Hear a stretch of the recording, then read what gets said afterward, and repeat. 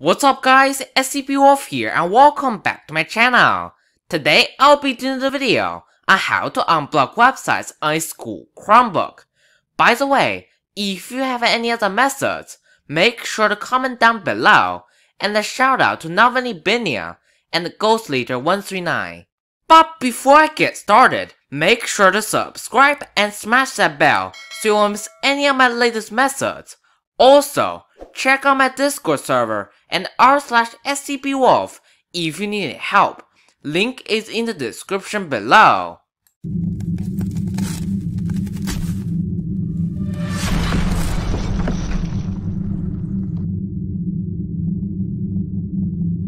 We will be using discord.com as an example since it is blocked.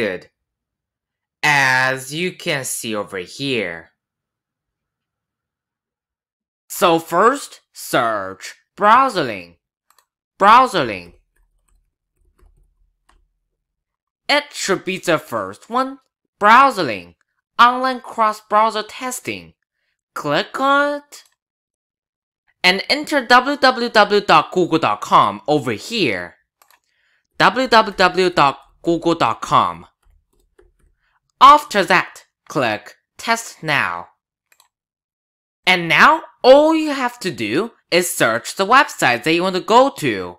For example, if you want to go to discord.com, all you have to do is search Discord, Discord. It should be the first one, discord.com, Discord, free chat. Try Discord now. Click on it. And as you can see over here, it is not blocked anymore.